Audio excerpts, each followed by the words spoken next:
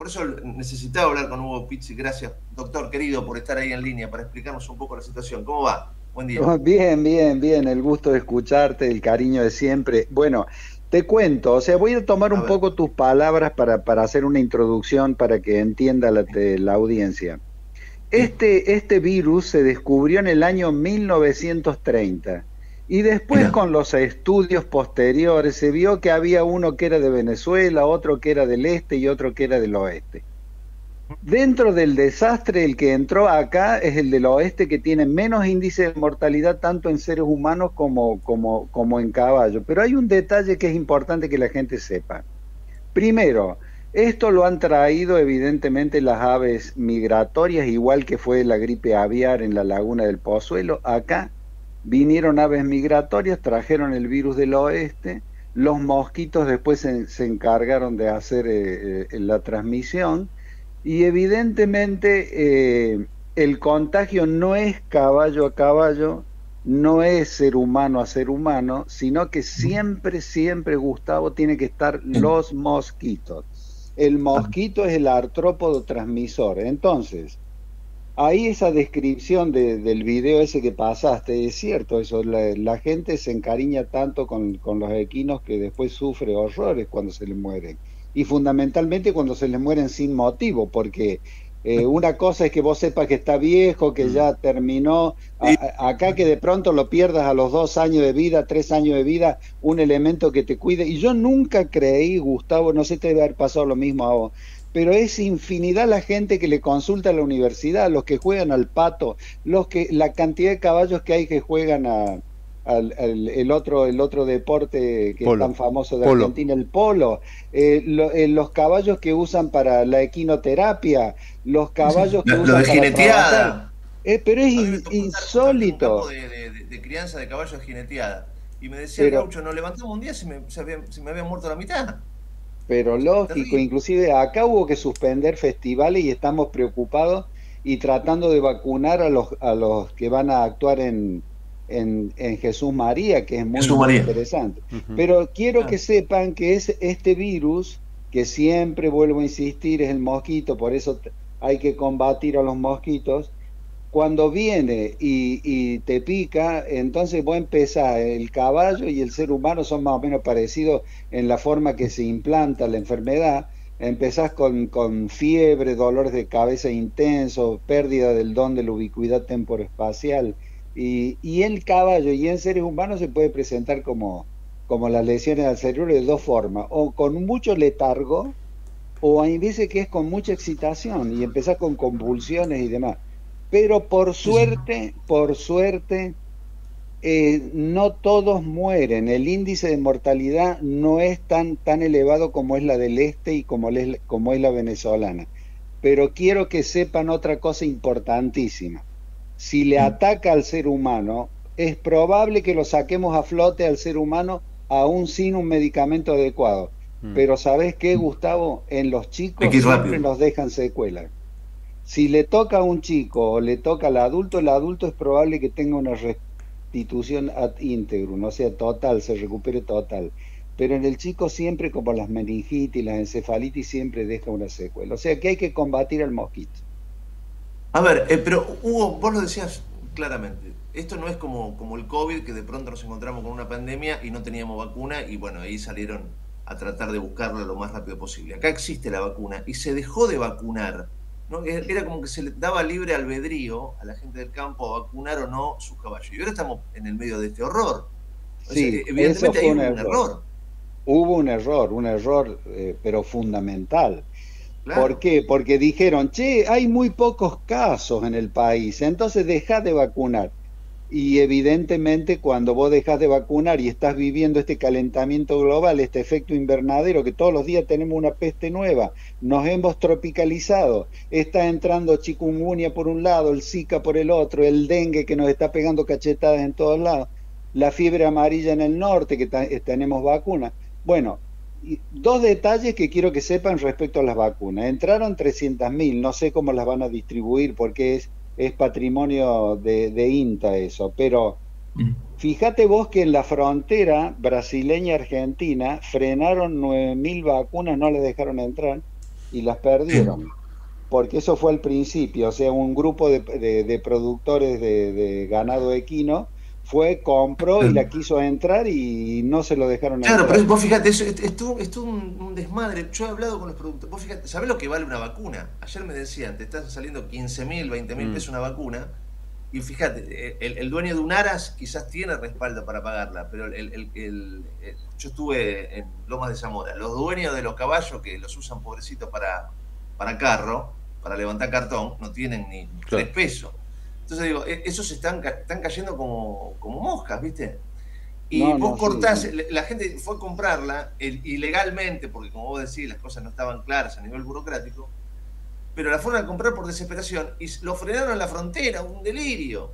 Sí, sí, eso fue terrible porque podrían haber eh, explicado, le podrían haber mostrado la compra, la factura, que fue un laboratorio serio brasileño. Podrían haber hablado, podrían haberse puesto de acuerdo, pero no, directamente se cerró eso. Y ahora yo quisiera que vos tenés mucho más poder que yo en cuanto a información que sepas qué pasó con las 300.000 esta que trajo el gobierno, porque todavía mm. en lo que es distribución... Y me dicen que eso lo reparte Senasa también, qué sé yo. Sí, pero yo no tengo información de qué jurisdicciones la tienen o, o, cómo repartieron tampoco. O sea que estamos siempre, siempre estamos con desafíos de, este, de esta tropicalización que realmente nos, nos tiene todos los días con sorpresa, porque vos fíjate que todos los días es una cosa nueva. Es una cosa nueva. Por, supuesto, Raulito, lo, veo pálido, porque cuando vos contaste que esto también puede afectar a los humanos, obviamente se asusta. Pero digo, vos marcabas, por supuesto, la historia de siempre en la Argentina. Tenemos que trabajar en lo urgente, en lo urgente fumigar. Ahora, eh, Hugo, yo he estado en, los campos. En los campos los mosquitos son nubes. O sea, ¿cómo fumigas un campo? O sea, es imposible. Las nubes te avanzan de un lado para el otro. Es imposible. Sí, señor. Yo acabo de estar hace tres días en un lugar donde habían muerto algunos caballos, en la zona del departamento Río Primero, en lo que es el, diríamos, el Parque Nacional Ancenusa.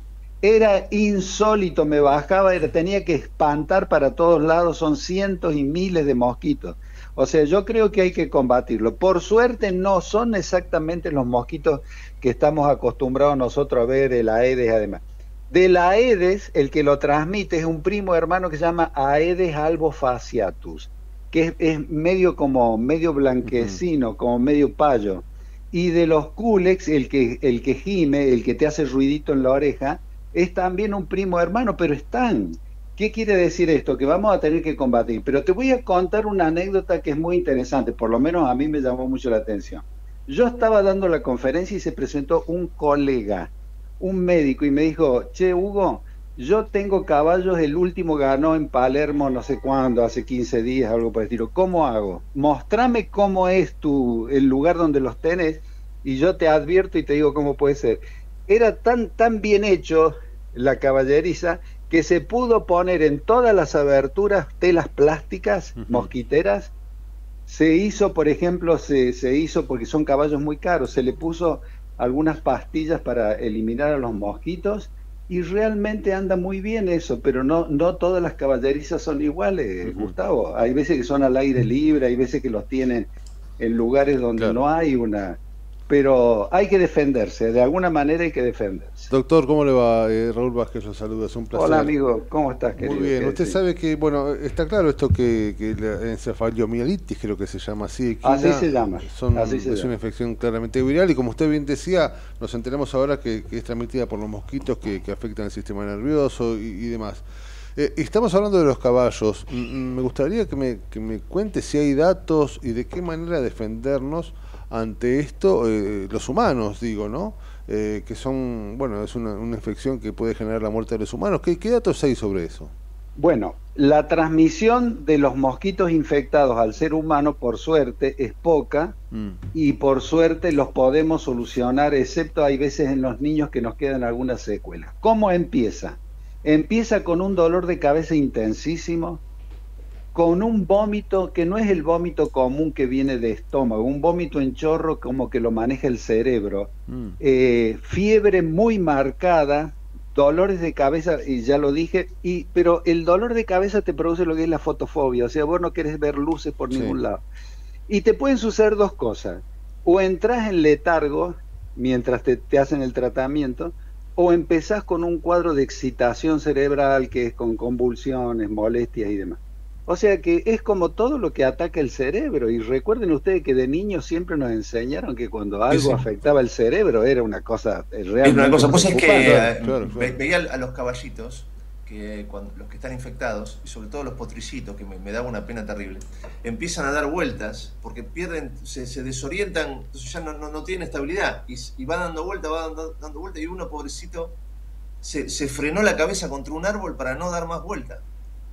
Sí, y fíjate que cuando caen no se levantan más. Un dolor en el alma terrible. Sí, no, es terrible. Y cuando caen no se levantan más. O sea, eh, es, es la gran inflamación que hay en el cerebro, pero por eso Ahora, Hugo, yo creo que tenemos... El, el, hombre no se tiene que vacunar también de esto? Claro. No, no, no, no, no, no, en este, en este caso no, porque evidentemente lo podemos manejar de otra manera, pero lo que sí necesitamos que esas vacunas lleguen, que son siempre en dos dosis, y acá hay una recomendación que necesito que la gente preste atención no coloque el que no conoce las vacunas a, los equinos. Busquen al veterinario. Mm. El veterinario va a saber estas dos dosis y la pone con una, con una diferencia de una semana, dos semanas o tres semanas. Él lo va a decidir eh, y él va a evaluar el caso. No colocar vacunas a un caballo que ya haya padecido la enfermedad o que esté en plena enfermedad o sea, pero el veterinario lo sabe muy bien a todo esto, pero es importante que la gente lo sepa, porque muchas veces con el afán de dar ayuda o de dar una solución, a lo mejor se pueden cometer errores.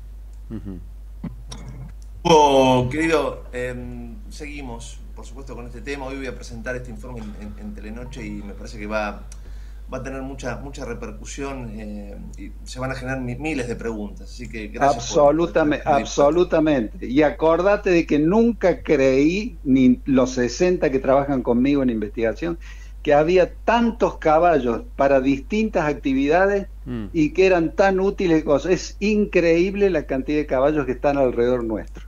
Sí, sí. Bueno, ahí les mando, les voy a mandar a producción la nueva bandera de Córdoba para que vean y la vean flamear cuando vengan a visitarnos. Ah, muy bien. Un abrazo cariñoso. Un abrazo grande, gracias. Doctor Hugo Pizzi, eh, epidemiólogo. Hablando de, este realmente desastre, gordo. Yo te digo que no, no, no, no, estamos armando junto a, eh, a, mis editores y, y, a mi equipo un informe para asustar. Sí estamos armando un informe para concientizar. Sí, sí, sí.